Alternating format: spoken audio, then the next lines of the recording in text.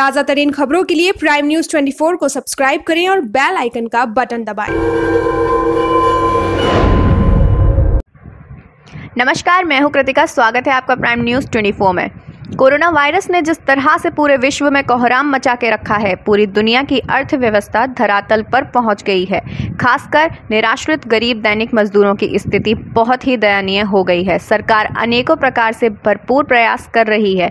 ऐसे ही समय में जब पूरा देश इस महामारी से लड़ रहा है तो एक खबर यूपी से आई है।